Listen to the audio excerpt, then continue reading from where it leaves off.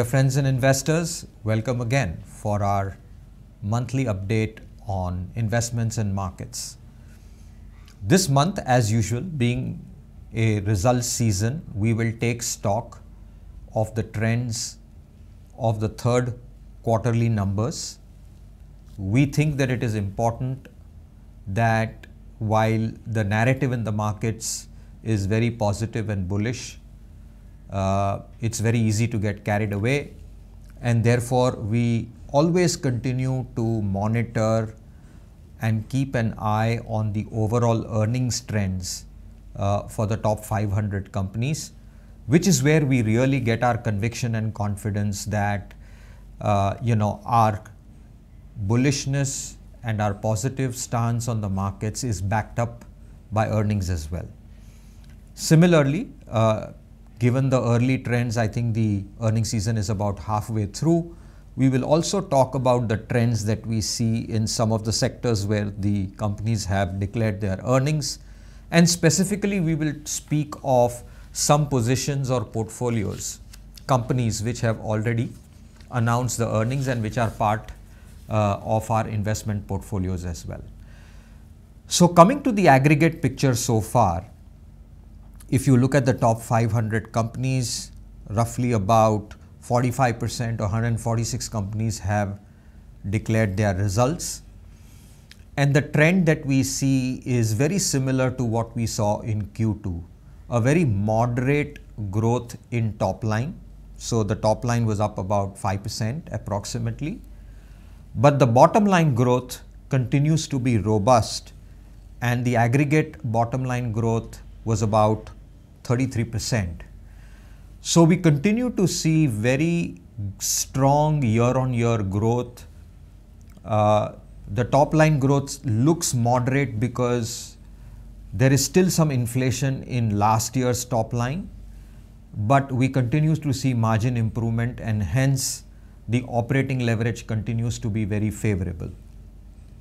And if you were to look at X banks, that is out of the 146 companies, if you remove the banks and financials, and if you look at just the 103 companies, and the picture is pretty similar 3% year on year top line growth, but a 36.5% growth in PAT year on year.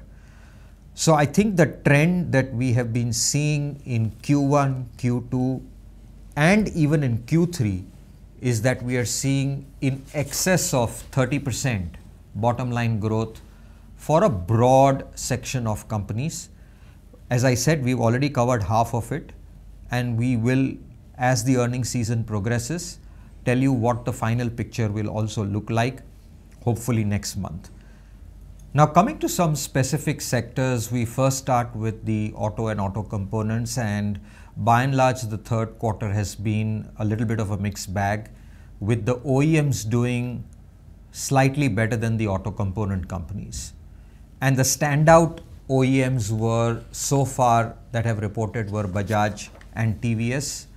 Uh, both have done exceptionally well, of which we own TVS, and TVS was able to grow EBITDA at 40% year on year and this was despite an unfavorable mix because exports is still pretty uh, is soft uh, and uh, despite that we've seen a margin expansion. So there has been a very good control on costs and productivity.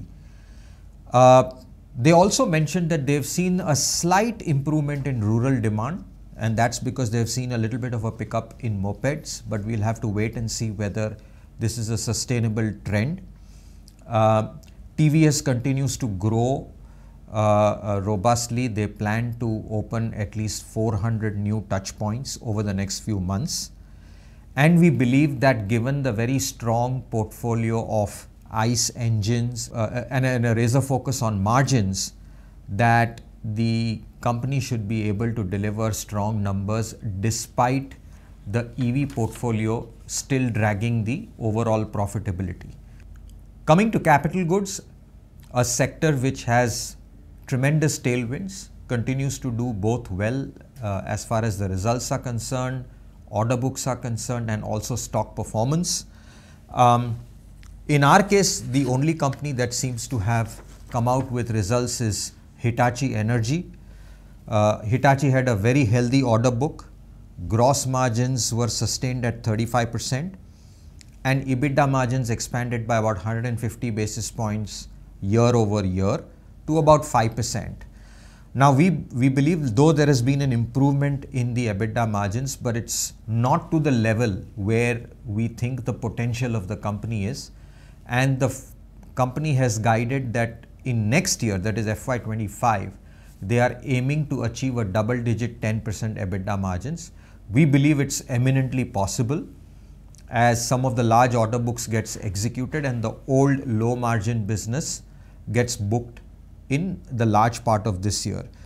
As you know, the company had a very large high voltage DC project in Mumbai that they won in Q1 of last year and that will be executed over the next 12 to 15 months and the revenue visibility continues to be very solid at 22 months of uh, sales.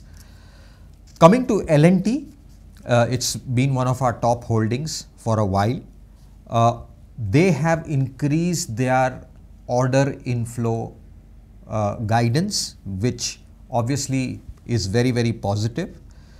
Um, and while top line and order inflow were higher than estimated, there was a slight disappointment on the margin front.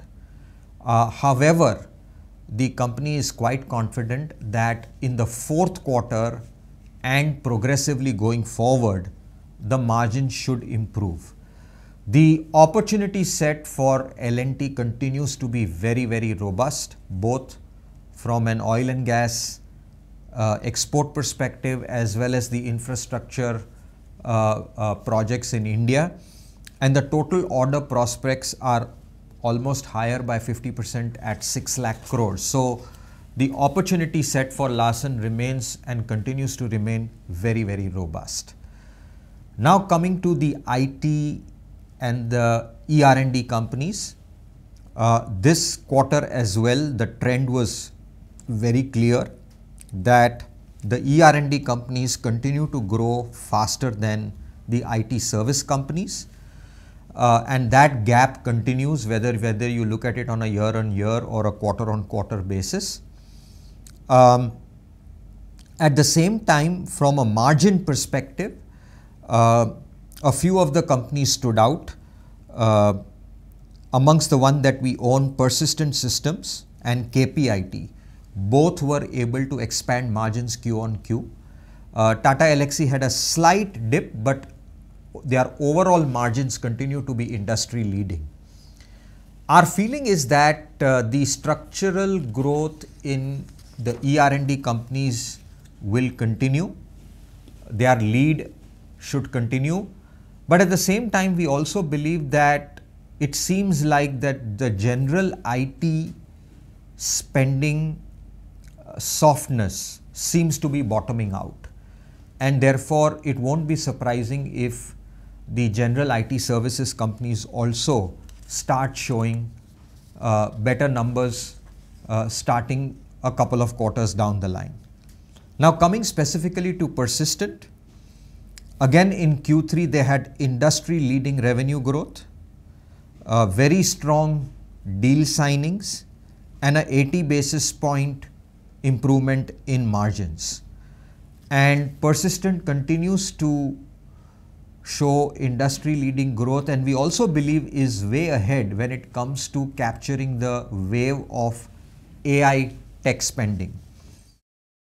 Secondly, Tata Elxsi are long term holding and a structural play on ER&D. Uh, I would say gave satisfactory numbers. The auto vertical was a little soft than what we expected, but that was largely because there was uh, a ramp up in one order which will now happen in Q4 instead of Q3. So hopefully that get gets uh, catched up, and they continue to deliver industry uh, leading margins.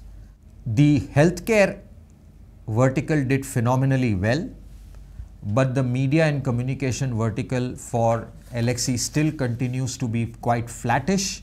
If we look at the stock prices of Netflix, uh, uh, you will see that Netflix has surprised on the upside. Uh, too early to say whether that lead indicator should finally translate into higher spending growth by the media and communication vertical.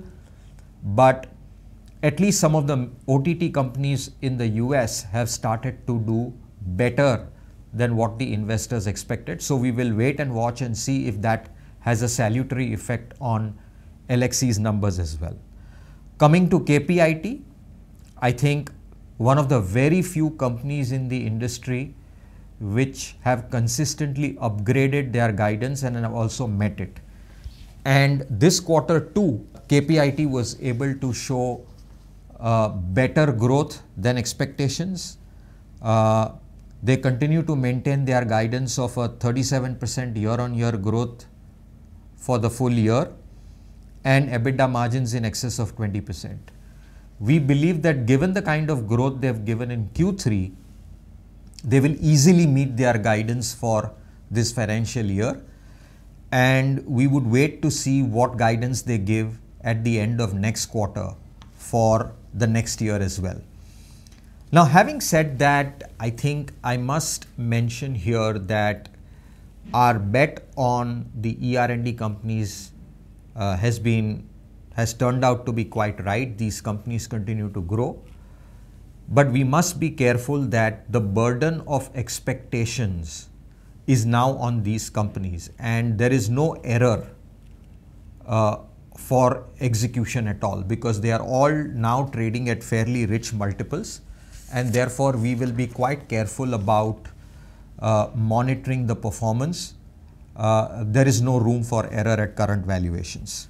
Coming to one of the largest sectors in the market, which is banks and NBFCs, as you all know that we have an exposure uh, to some of the high quality franchises in the lending business uh, by way of our exposure to Bajaj Finance, ICICI Bank and SBFC. So I'll talk about all of this. But before that, if you look at the trends of the results that have come so far, clearly there are some headwinds that we see. A, we've seen that the cost of funds has gone up for everybody. Uh, you know, ga gathering deposits has been a tough task and the cost of funds have gone up anywhere from 7 basis points to almost 28 basis points in that range for various lenders. Sporadically, we've also seen in some segments that credit costs also has started to inch up, though nothing to worry. But I think there are sporadic instances where credit costs have also started to inch up. Um, if you look at ICICI Bank, uh, again, you know, there were no complaints as far as the Q3 numbers were concerned. It continues to be the best run private sector large bank in the country. Um, having said that, uh, we believe that the lending business is seeing some headwinds and the headwinds as I mentioned is coming because of the challenge to raise deposits, there is pressure on margins, and there is a sporadic increase in credit costs. And if you look at the way the RBI regulations have also been moving uh, and the last few uh, steps that the RBI has taken, it clearly tells you that the RBI wants to slow down the personal loan or the unsecured lending business. And as you know that most lenders in this cycle wanted to lend to retail and the profitability actually improves when you do unsecured lending. But if the RBI is going to put on the brakes, then I think we're going to see an additional challenge in terms of growth and margins. And therefore, we believe that from a portfolio positioning perspective, we've taken a call to reduce our exposure to the lending segment, right? And therefore, we have exited our investments in ICICI Bank. As I said, there's nothing wrong with the results. I think it's a very well run franchise.